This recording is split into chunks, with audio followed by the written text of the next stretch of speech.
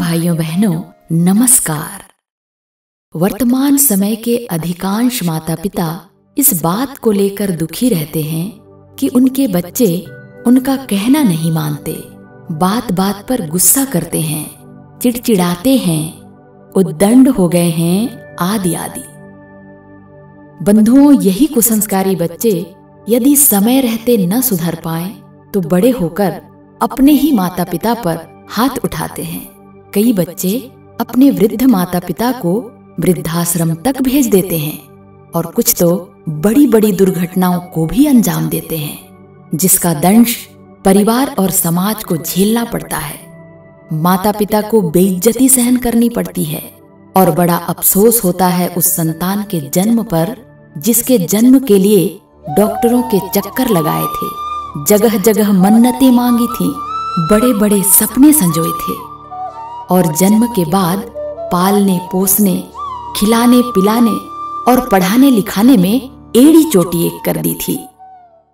भाइयों, बहनों, अब आपके हमारे लिए यह एक गहन मंथन का विषय है कि आखिर माता पिता और परिवार वालों ने संतान के परवरिश में ऐसी कौन सी कमी कर दी थी? उनसे ऐसी कौन सी भूलें हो गई थी जिसके कारण उन्हें संतान के होने पर आज पश्चाताप करना पड़ रहा है।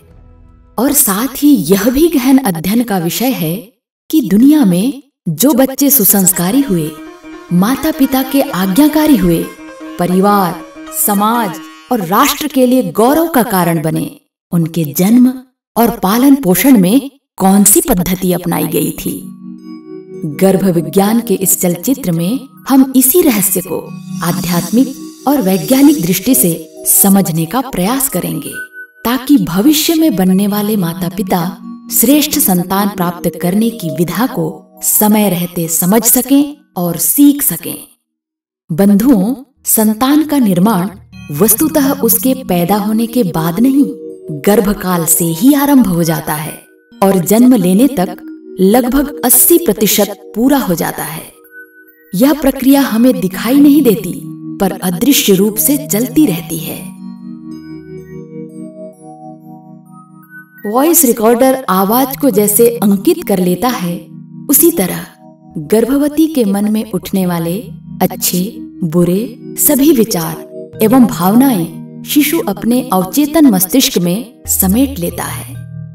वह पूरी तरह से आत्म चैतन्य भी होता है।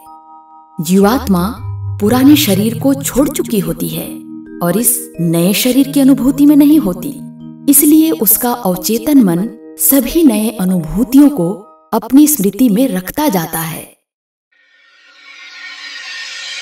माँ की सोच, भावनाएँ, व्यवहार एवं वातावरण का गर्भस्थ शिशु पर बहुत ही गहरा प्रभाव पड़ता है। आइए इसे समझने के लिए हम अपने स्वर्णिम इतिहास की ओर देखें।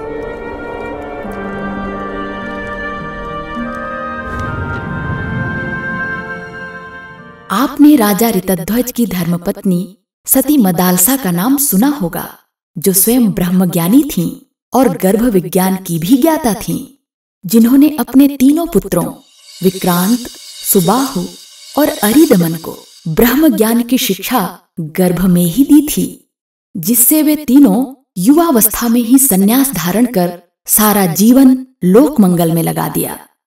राजा ऋतध्वज ने एक दिन महारानी मदालसा के समक्ष अपनी चिंता व्यक्त करते हुए कहा कि आपने तीनों पुत्रों को सन्यासी बना दिया। यदि ऐसा ही रहा तो मेरा राजकाज कौन संभालेगा? इस पर महारानी मदालसा ने उत्तर दिया कि महाराज, चिंता न करें। अगला संतान जो आएगा, उसे हम कुशल शासक बनाएँगे। और बंधुओं, ऐसा ही हुआ। राजा ऋतध्वज और महारानी मदालसा दोनों ने ही गर्भधारण के तीन माह पूर्व से ही संकल्प पूर्वक वातावरण बनाना प्रारंभ कर दिया। शौर्य और साहस से संबंधित साहित्य का अध्ययन किया। शयन कक्ष को वीरता के प्रतीकों से सजाया। गर्भधारण के बाद नौ माह तक, अर्थात गर्भावस्था में ही, शिशु को राजनीति की शिक्षा और एक कुशल राजा के संस्कार दिए। परिणाम यह हुआ कि उनका चौथा पुत्र अलर्क अपने पिता से भी अधिक कुशल और प्रतापी राजा बना। हस्तिनापुर नरेश राजा दुष्यंत दुर्वासा ऋषि के श्राप के कारण अपनी पत्नी शकुंतला को भूल चुके थे। उस समय राजा दुष्यंत का पुत्र रानी शकुंतला के गर्भ में पल रहा था और माता शकुंतला कश्यप ऋषि के संरक्षण में थी। शकुंतला ने पति वियोग के दुख का प्रभाव संतान पर नहीं पड़ने दिया। बल्कि उसके श्रेष्ठ सृजन के लिए अपने चिंतन, आहार, विहार, दिनचर्या और व्यवहार को उत्कृष्ट स्तर का बनाया। माता की साधना और ऋषि आश्रम के दिव्य वातावरण ने बच्चे को वीर योद्धा, चक्रवर्ती सम्राट के रूप में विकसित किया। वह बाल्यावस्था में ही शेर के दांत गिना करता था। उस बालक का नाम भरत था, जिसके नाम पर ही हमारे इस देश का नाम भारत पड़ा।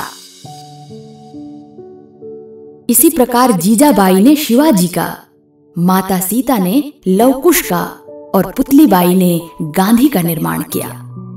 बंधुओं, हमारे भारतीय संस्कृति में मनुष्य को सही मायने में मनुष्य बनाने और उत्तरोत्तर महामानव देव मानव बनाने की प्रक्रिया संस्कार परंपरा के रूप में रही है। संस्कारों की परंपरा से भारत रहा महान। भारत रहा महान।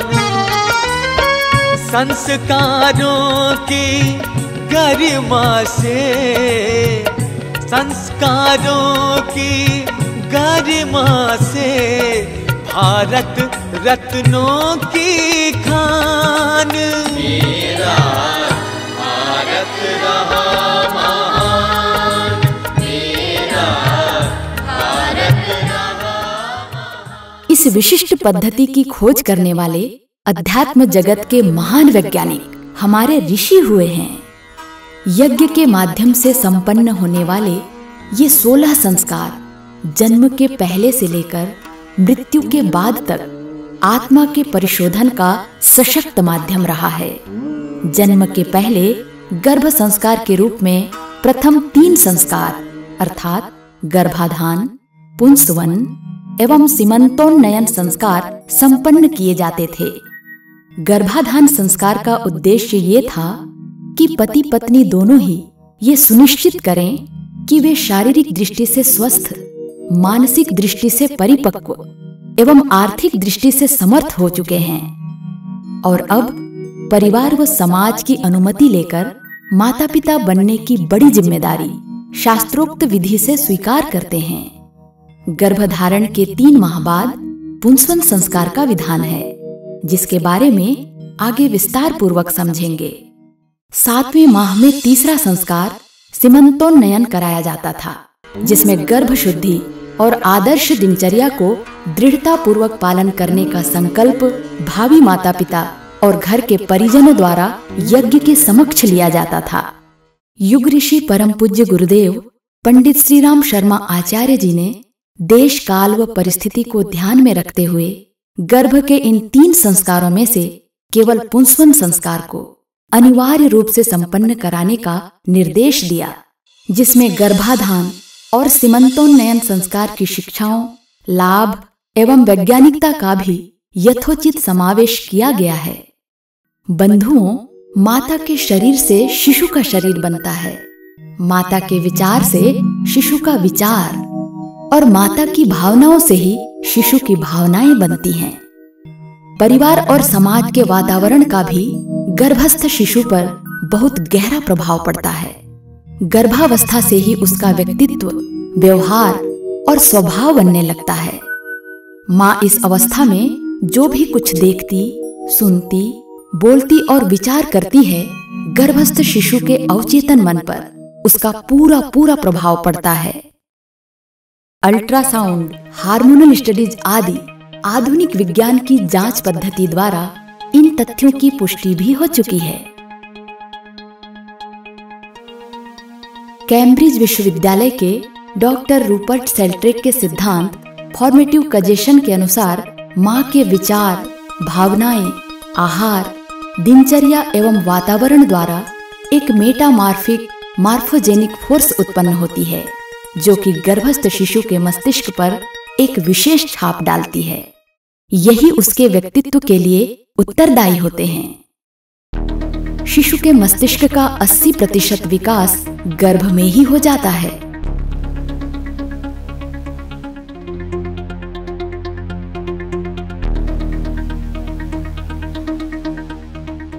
माँ प्रसन्न रहती है तो सकारात्मक हार्मोन्स जैसे सीरोटोनिन, एंडोरफिन, एनकेफ्लिन का स्राव होता है। यदि माँ दुखी रहती है तो नकारात्मक हार्मोन्स जैसे adrenaline nor adrenaline ACTH cortisol आदि का स्राव होता है। ये हार्मोन्स रक्त द्वारा शिशु के अवचेतन मस्तिष्क, जिसे चिकित्सकीय भाषा में हाइपोथैलेमस एवं लिम्बिक सिस्टम कहते हैं, पर छाप डालते हैं, और वैसे ही व्यक्तित्व वाला शिशु बनता चला जाता है।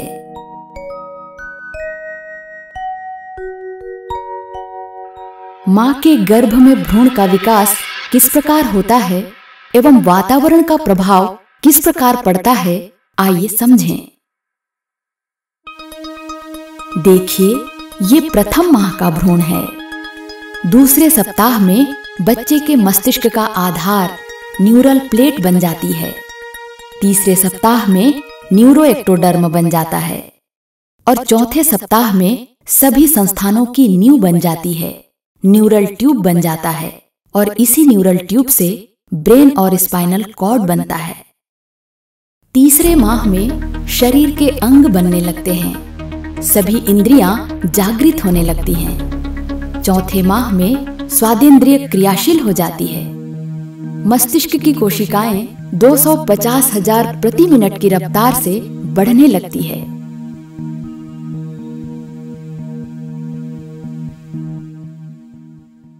गर्भस्थ शिशु आवाज़, महक, स्वाद आदि को पहचानने लगता है और आवाज़ के प्रति प्रतिक्रिया भी दर्शाता है।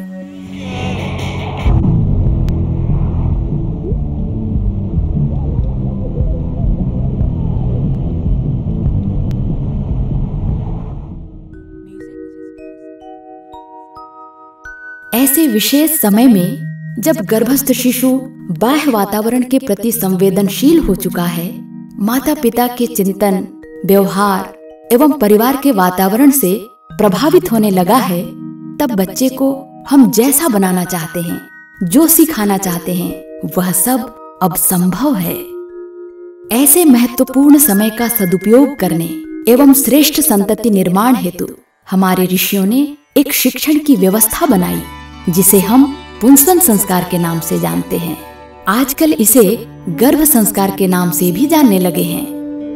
यह संस्कार यज्ञीय वातावरण में संपन्न होता है, जिसमें माँ के आहार, विहार, चिंतन एवं व्यवहार को श्रेष्ठ, पवित्र बनाकर रखने और घर के वातावरण को भी दिव्य बनाकर रखने का संकल्प कराया जाता है। साथ ही यज्ञीय ऊर्जा एवं वेद मंत्रों के माध्यम से जीवात्मा के पूर्व जन्मों के कुसंस्कारों का परिशोधन और श्रेष्ठ संस्कारों का बीजारोपण किया जाता है।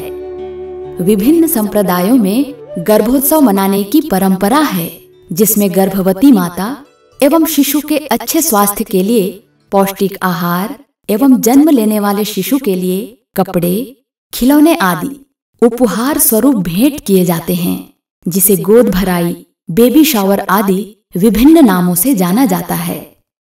बंधुओं, इस उत्सव में शारीरिक स्वास्थ्य एवं भौतिक व्यवस्था की ओर तो सभी ध्यान देते हैं, किंतु मानसिक, सामाजिक, भावनात्मक एवं आध्यात्मिक स्वास्थ्य छूट जाता है।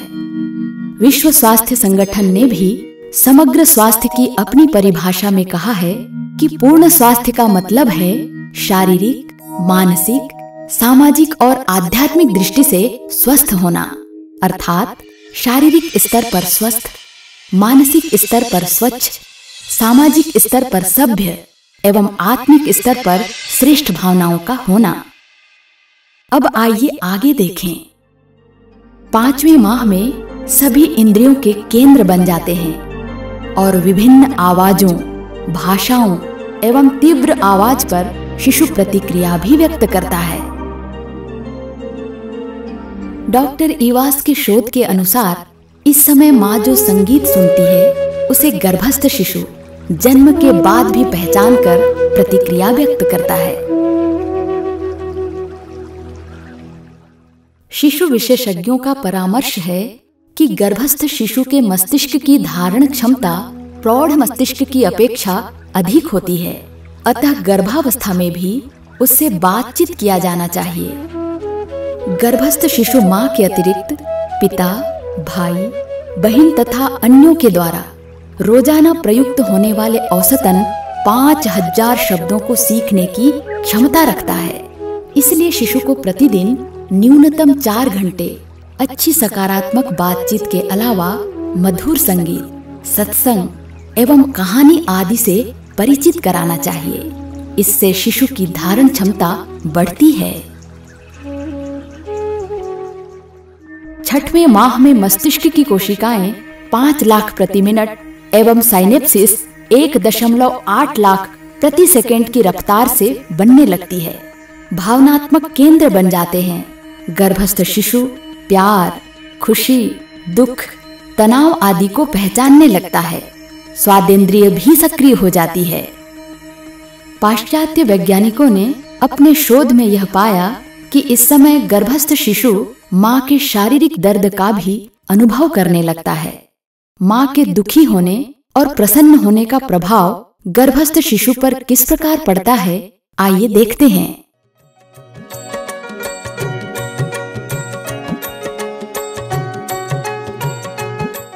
माँ यदि प्रसन्न रहे, आनंदित रहे, घर परिवार में शांति भरा वातावरण हो तो माँ के शरीर में खुशी के हार्मोन्स का स्राव होने लगता है। इन हार्मोन्स के प्रभाव से शिशु के अंदर खुश मिजाज, अच्छी भावनात्मक शक्ति एवं एकाग्र चित्त वाले सद्गुण स्थापित होने लगते हैं। इसके ठीक विपरीत, यदि माँ दुखी है, घर परिवार में अशांति का वातावरण बना हुआ है तो माँ के शरीर में दुख के हार्मोन स्रावित होने लगते हैं, जिससे गर्भस्थ शिशु के नाड़ी में सिकुड़न होने लगती है। और ऑक्सीजन एवं पौष्टिक पदार्थों की कमी हो जाती है। इसका दुष्परिणाम यह होता है कि बच्चा जन्मजात शारीरिक बीमारियों की जड़ें लेकर जन्म लेता है। साथ ही चिड़चिड़ा, गुस्सेबाज और भावनात्मक एवं व्यवहारिक रूप से कमज़ोर पैदा होता है। सातवें माह में संगीत सिखाया जा सकता है। अल्ट्रासाउंड द्वारा आज विज्ञान ने यह साबित भी कर दिया है कि बच्चे के मस्तिष्क के न्यूरॉन्स पर संगीत का गहरा प्रभाव पड़ता है। गूंजने वाले मधुर संगीत द्वारा बच्चे के न्यूरॉन्स की उर्वरता बढ़ जाती है।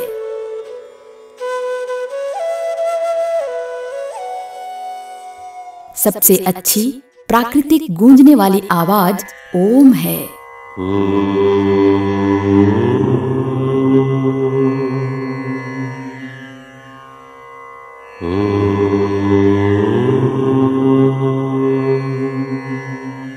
नवीन शोधों में नासा ने ओम को सूर्य की आवाज़ प्रमाणित किया है।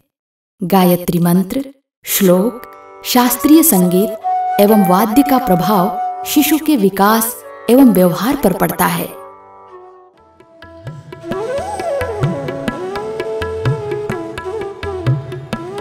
आठवें माह तक याददाश्त और सीखने के केंद्र पूर्ण रूप से विकसित हो जाते हैं और सारी इंद्रियाँ क्रियाशील हो जाती हैं When? Jumping. Very good. ॐ श्री परमात्मने नमः अथ सप्तदशोऽध्यायः श्रद्धात्रयविभागयोगः अर्जुन उवाच ये शास्त्रविधिमुत्सृज्य ॐ भूर्भुवः स्वः तत्सवितुर्वरेण्यं भर्गो देवस्य धीमहि। धियो यो नः प्रचोदयात्। स्वाहा इदं गात्रे इदं नमः। महामन्त्रजितने जगमाहि। कोहु गायत्री समनाहि। सुमिरत ही हमें ज्ञान प्रकाश। आलस पाप अविद्या माता युक्ता ये त्वां भजन्ति निखिलान् परान् विहाय ते निर्जरत्वमिह यान्ति कलेवरेण। भुवनि वायुगगनाम्बुविनिर्मितेन इस समय आस्था अनुरूप धार्मिक ग्रंथ जैसे रामायण, गीता, बाइबिल गुरु ग्रंथ साहिब और कुरान शरीफ आदि के सूत्र सिखाए जा सकते हैं। नवे माह में उसमें कई भाषाओं को सीखने की क्षमता आ जाती है और सारी सूचनाओं को एकत्रित कर वह जन्म लेता है। अभिमन्यु ने महाभारत युद्ध में चक्रव्यूह वेधन की विद्या अपनी माँ सुभद्रा के गर्भ से ही सीखा था। फ्रांस की एक महिला सैनिक मारिया बोनापार्ट ने अपने पुत्र नेपोलियन बोनापार्ट को वीरता और साहस के गुणों का शिक्षण गर्भावस्था में ही दी थी। इसी प्रकार शारीरिक विकास के साथ साथ बौद्धिक, भावनात्मक एवं आध्यात्मिक प्रतिभा की नींव भी गर्भ में ही पड़ जाती है। बंधुओं, गर्भ संस्कार कोई नई विधा या नवीन खोज नहीं है। भारतीय ऋषियों द्वारा प्रदत्त सदियों पुराना विज्ञान है। जिसके ढेरों उदाहरण भारतीय साहित्य में बिखरे पड़े हैं। वैज्ञानिकों ने भी मानव जीवन के विकास क्रम के विषय में अनेकों रहस्य खोज लिए हैं और इस निष्कर्ष पर पहुँचे हैं कि माता पिता यदि समय रहते प्रयास करें तो मनचाही संतान प्राप्त कर सकते हैं। विदेशों में इस संदर्भ में ढेरों प्रकार के प्रयोग परीक्षण हो रहे हैं।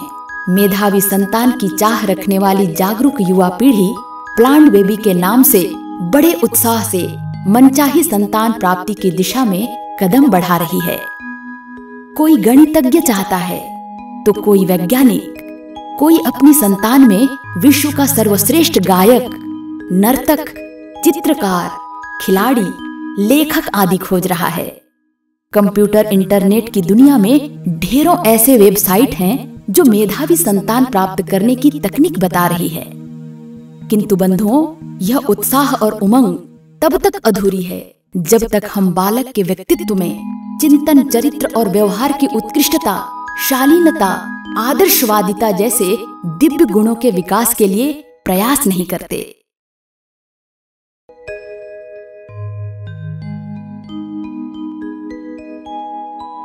तो अब आइए एक स्वस्थ, मेधावी, प्रखर, प्रतिभावान एवं व्यक्तित्ववान संतान प्राप्ति के लिए प्रायोगिक तौर पर क्या क्या करना अनिवार्य है, समझने का प्रयास करते हैं।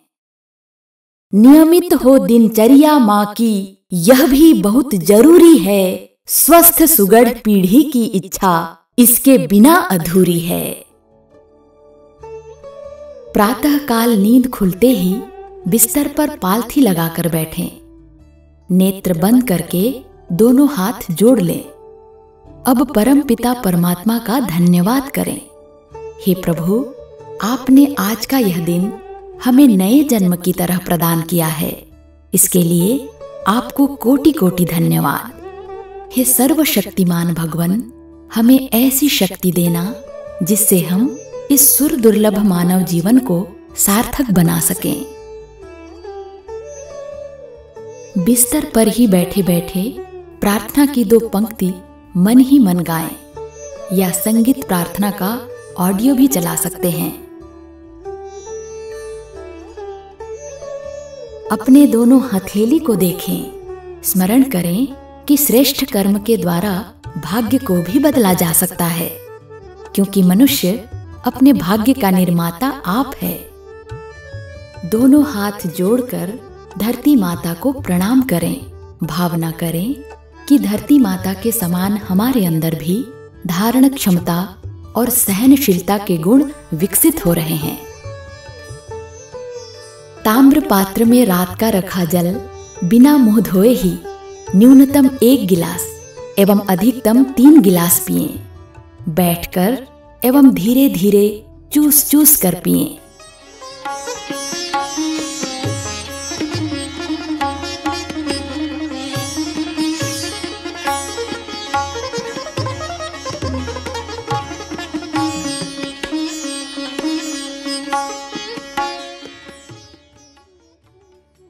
स्नान आदि से निवृत्त होकर नित्य गायत्री मंत्र का जप और उगते हुए सूर्य का ध्यान करें। ध्यान करते समय भावना करें कि सूर्य की तेजस्वी किरणें गर्भस्थ शिशु के रोम रोम में प्रवेश कर उसे स्वस्थ, प्रतिभावान, भावनाशील, व्यक्तित्ववान एवं तेजस्वी बना रही है। बंधुओं, गर्भवती माता यदि नियमित गायत्री मंत्र का जप करती है तो शिशु में दया, करुणा, ममता जैसे देवत्व के गुणों का विकास होता है।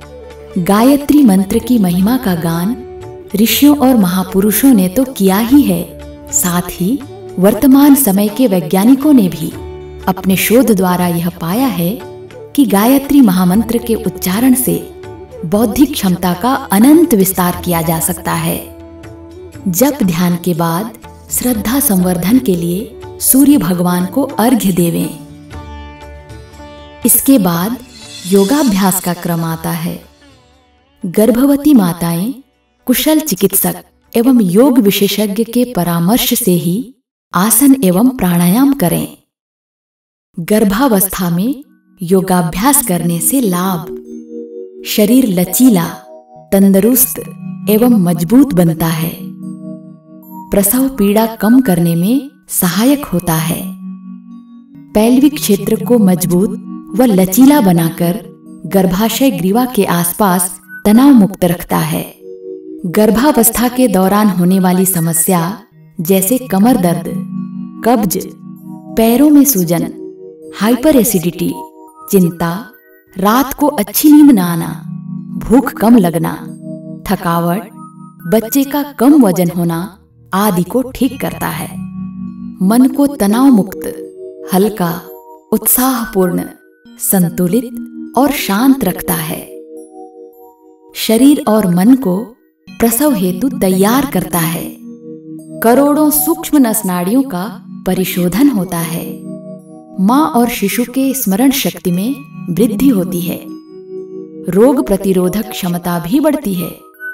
अब आइए जाने गर्भवती माता को योगाभ्यास के दौरान कौन कौन सी सावधानियाँ बरतनी चाहिए? स्नान और योग के बीच न्यूनतम एक घंटे का अंतर होना चाहिए। अनावश्यक ज़ोर न लगाएँ, क्षमता के अनुसार ही योगाभ्यास करें। पेट के बल लेटकर किए जाने वाले आसनों को न करें। प्रातः एवं सायं खाली पेट ही योगाभ्यास करें। आसनों का अभ्यास करने से पहले मूत्राशय एवं आते खाली कर लें। योगाभ्यास, ढीले वस्त्र पहनकर, हवादार एवं स्वच्छ स्थान पर मुलायम आसन बिछा कर। करें विशेष परिस्थिति में व्यायाम एवं आसन ना करें, जैसे हाई ब्लड प्रेशर गर्भ में जुड़वा बच्चों का होना, हृदय रोग का होना, रक्तस्राव का होना। समय के पूर्व गर्भाशय की थैली का फटना आदि।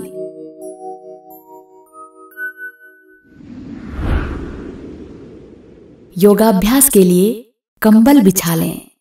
सर्वप्रथम सूक्ष्म व्यायाम करें। पादांगुली नमन। गुल्फ नमन। गुल्फ चक्र। गुल्फ घूर्णन।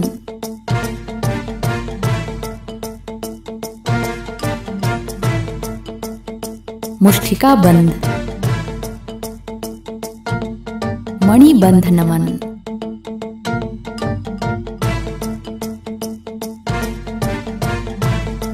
मणिबंध चक्र।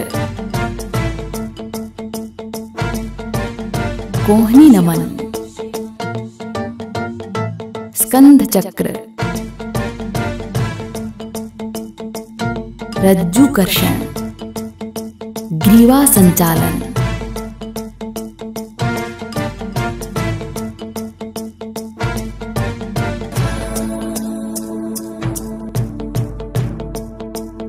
नेत्र घूर्णन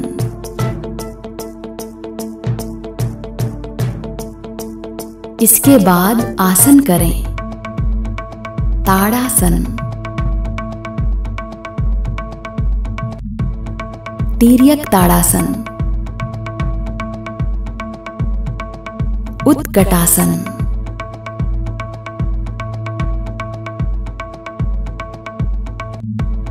त्रिकोणासन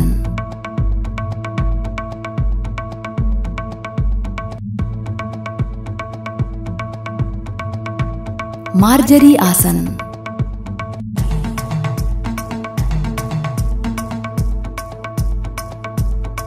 सेतु बंधासन।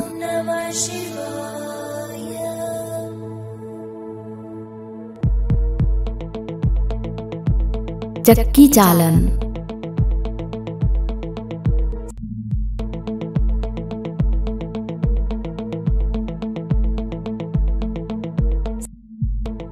तितली आसन।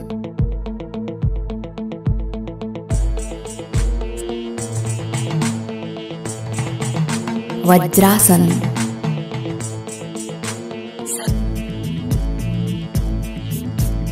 मत्स्य क्रीडासन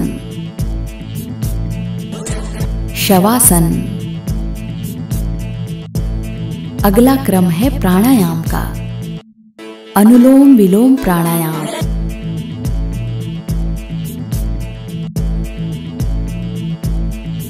भ्रामरी प्राणायाम। प्राणाकर्षण प्राणायाम।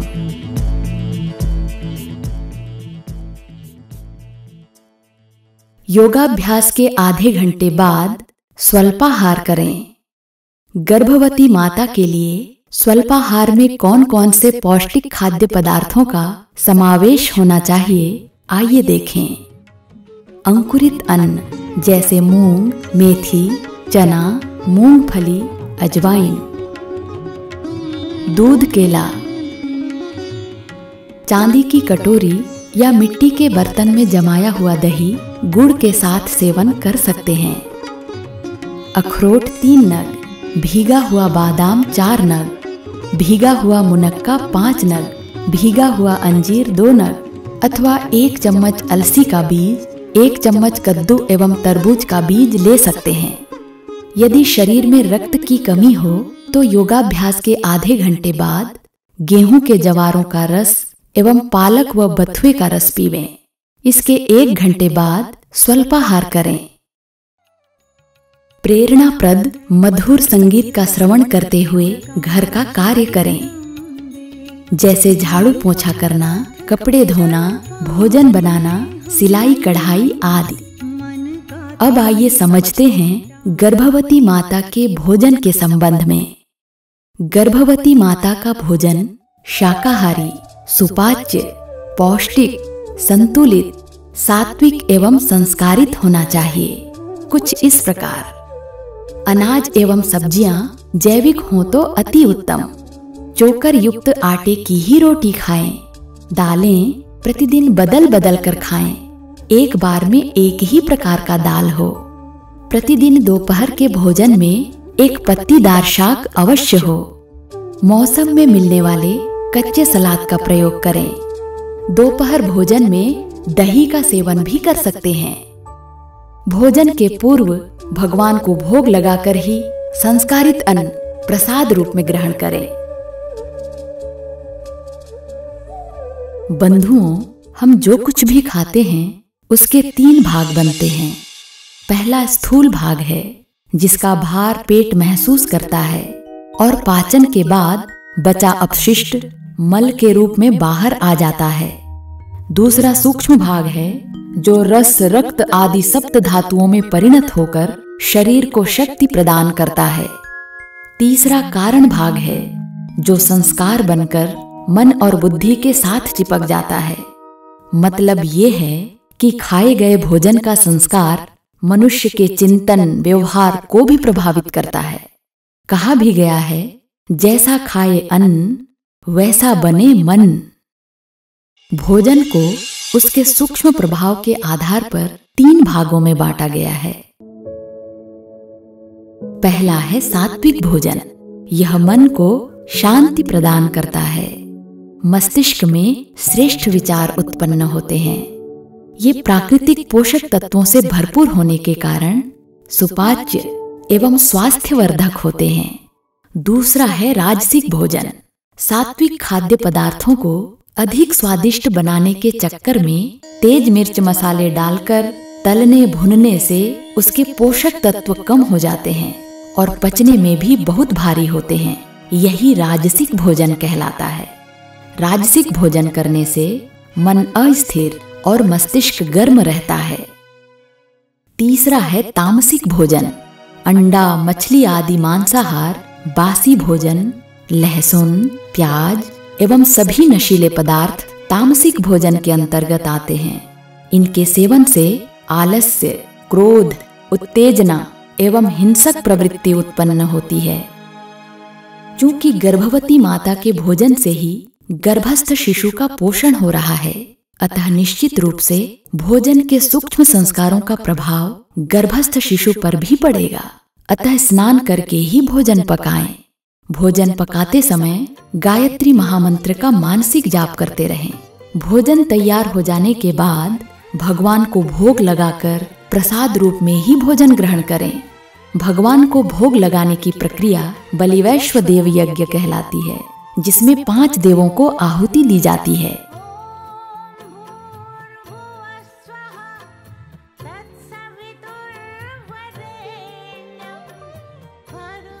दोपहर के समय गर्भस्थ शिशु के साथ सकारात्मक विषयों को लेकर संवाद करनी चाहिए, जैसे सज्जन व्यक्तियों के गुणों की चर्चा, पारिवारिक आपसी बातचीत, समाज में हो रहे अच्छे कार्यों की चर्चा, परिवारीजनों के श्रेष्ठ गुणों की चर्चा आदि। इसके बाद एक घंटे आराम करनी चाहिए। लगभग तीन या चार बजे के आसपास फल, सलाद एवं छाछ का सेवन करें। गायत्री महामंत्र या महामृत्युंजय मंत्र का मानसिक जप एवं भावार्थ का चिंतन करते हुए घर का कार्य प्रसन्न भाव से संगीतमय वातावरण में करें।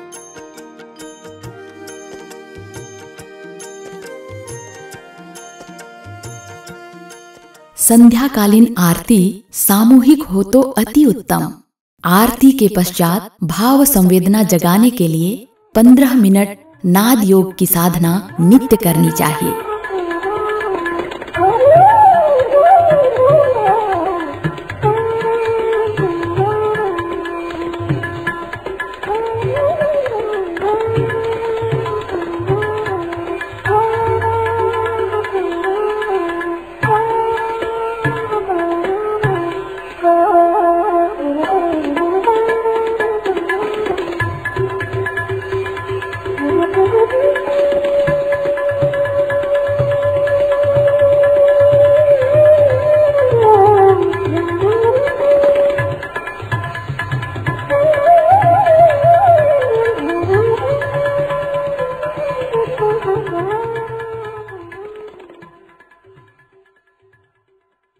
रात्रिकालीन भोजन जल्द ही करें, जिसमें दलिया, खिचड़ी, रेशेदार सब्ज़ी आदि हल्का सुपाच्य आहार रहे।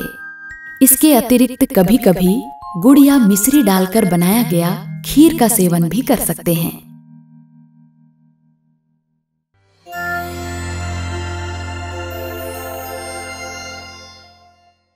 रात्रिकालीन शयन के पूर्व श्रेष्ठ साहित्य का अध्ययन, चिंतन एवं मनन करना चाहिए। गर्भस्थ शिशु में विद्या अध्ययन के संस्कार स्थापित करने का यह एक सशक्त माध्यम है। स्वाध्याय के विषय कुछ इस प्रकार हो सकते हैं। महापुरुषों की जीवनी एवं प्रेरक प्रसंग। बाल निर्माण की कहानियाँ। शौर्य और वीरता से युक्त कहानियाँ। बालकों का भावनात्मक निर्माण। गृहस्थ से पहले ज़िम्मेदारी समझें। बच्चों के शासक नहीं सहायक बने। अभिभावकों और बच्चों के बीच भावनात्मक आदान प्रदान। पुंसवन संस्कार। बच्चों का निर्माण परिवार रूपी प्रयोगशाला में। वे जो मरकर अमर हो गए। विश्व की महान नारियाँ। व्यक्तित्व निर्माण के छोटे छोटे सूत्र आदि। माता रस लेती है जैसे चिंतन या व्यवहार में, वैसे ही गुण लेकर आता शिशु भी इस संसार में। शयन के बिस्तर पर ही बैठकर तत्व बोध की साधना करें। तत्व बोध साधना से तात्पर्य आत्म समीक्षा से है। आज प्रातः से लेकर अब तक जो भी कार्य, चिंतन व्यवहार आदि श्रेष्ठ बन पड़े हों, उसका स्मरण करते हुए स्वयं को मन ही मन शाबाशी देवे, प्रसन्न होवे एवं जो भी त्रुटियाँ रह गई हों, उसके लिए पश्चाताप पूर्वक परमात्मा से क्षमा याचना करें, एवं पुनः गलती न करने का संकल्प करें अब अच्छा बुरा सब कुछ परमात्मा के चरणों में सौंपकर पूर्व या दक्षिण दिशा की ओर सिर करके सो जाएँ। हर आधे एक घंटे में चूस चूस कर पानी पीते रहें। बेमेल आहार से बचना चाहिए, जैसे नमक दूध, दही बड़ा, आम खीरा, पालक पनीर, दही, खट्टे फल आदि।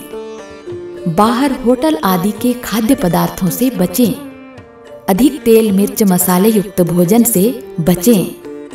टेलीविज़न इंटरनेट या मोबाइल पर ऐसे कार्यक्रम बिल्कुल ना देखें, जिसमें डरावने, उत्तेजक, हिंसा, व्याभिचार, षड्यंत्र आदि के दृश्य हों। इसका गर्भस्थ शिशु पर बहुत ही बुरा प्रभाव पड़ता है।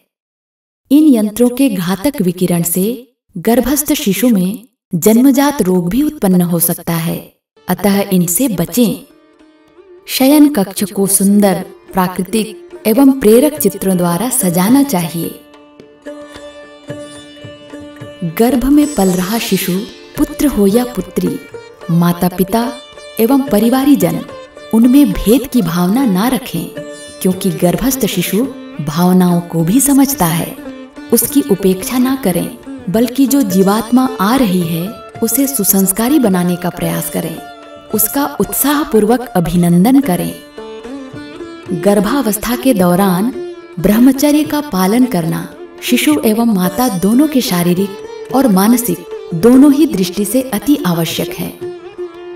विद्वानों का मत है कि माता पिता द्वारा गर्भावस्था से लेकर प्रारंभिक पाँच वर्ष तक की आयु में डाले गए संस्कार शिशु के हृदय एवं मन मस्तिष्क में जड़ जमा लेते हैं। ये संस्कार अचेतन मन से कभी नहीं हटते। जीवन पर्यंत बने रहते हैं। अतः अभिभावक गण भावी पीढ़ी के नव निर्माण हेतु इस साहित्य का अध्ययन करें, मार्गदर्शन प्राप्त करें।